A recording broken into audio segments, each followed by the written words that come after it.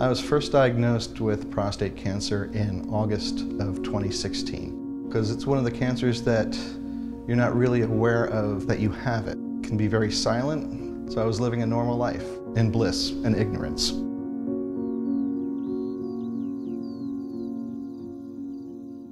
Doors opened up very quickly to get my cancer taken care of. I learned first about the John Theurer Cancer Center because the first option that I looked at as far as treatment goes was surgery, and I wanted to do it robotically. Robotic is the one that has the quickest recovery time, it's the least invasive. And Dr. Michael Stifelman is one of the best robotic surgeons as far as prostate cancer goes. I was very surprised and very blessed to be able to get an appointment with him.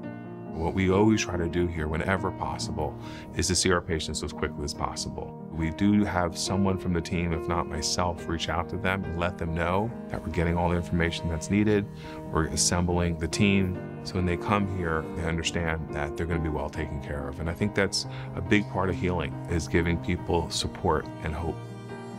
At the John Theurer Cancer Center from the very beginning, they know that we'll be there for them to help them and to support them. It's not always easy to come through a cancer treatment. Certainly in my role, I can provide that psychosocial support as well as any medical support they may need. We knew going in that this is not a cancer that we would be able to follow. Uh, this was a cancer that needed to get treated. And one of the reasons we sort of steered Mark into surgery is the opportunity to cure him one time and one time only.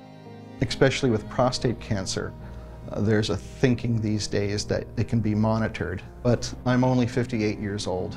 I didn't want it be monitored for the next 15 years and then find out when I'm 75 that it's spread to the rest of my body. So I wanted to have it out. If the surgery, for whatever reason, did not completely eradicate the disease, we were able to bring in radiation as a secondary option. And I think that was a big push for us to do the surgery first.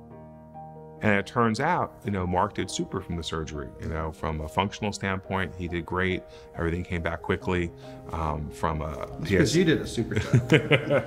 well, it was, it's always a team yeah. approach, you know. And people say that all the time to me. It's like, you know, you did a great job. And what I tell them is, I'm just one small cog in the wheel. And having cancer is a very scary thing.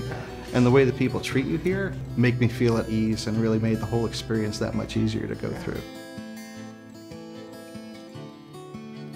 What's different about the John Theurer Cancer Center is experience and the skill of the physicians, the excellence in care that the nurses provide. Patients will freely tell you that they will recommend the John Theurer Cancer Center, so patient satisfaction is very high. Being able to be cancer free now thanks to the people at the John Theurer Cancer Center, I can look forward to playing for many more years to come and I don't have to give that up. You know, it's something that allows me to be who I am. I am Mark, husband, a father, a musician, and a cancer survivor.